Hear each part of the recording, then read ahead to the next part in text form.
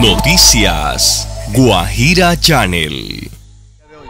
Hoy marchamos el magisterio y su núcleo familiar denunciando el pésimo servicio de salud eh, generado por la Unión Temporal de Oriente y el operador local en el departamento de La Guajira y la exigencia del pliego de condiciones contratados en la medida en que la mala prestación del servicio está poniendo en riesgo el derecho a la salud de los maestros y su familia.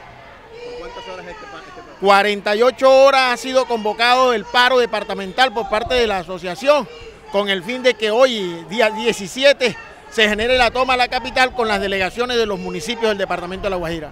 Nosotros aspiramos a que hoy participemos alrededor de 4.200 docentes que vienen siendo afectados directamente por la mala prestación del servicio y tenemos delegaciones de los 15 municipios del departamento de La Guajira. Aproximadamente alrededor de 12.000 a 13.000 estudiantes, pero aprovechamos su pregunta para aclarar que nos hemos visto obligados a este cese de actividades en la medida en que las denuncias, con las mismas evidencias que hemos presentado ante los organismos eh, Ministerio de Educación, gobiernos locales, superintendencias, fiduprevisoras, han hecho oídos sordos a nuestras demandas, a nuestras exigencias y en virtud de eso nos hemos visto obligados a paralizar las actividades escolares para defender el derecho a la vida de los maestros y su familia.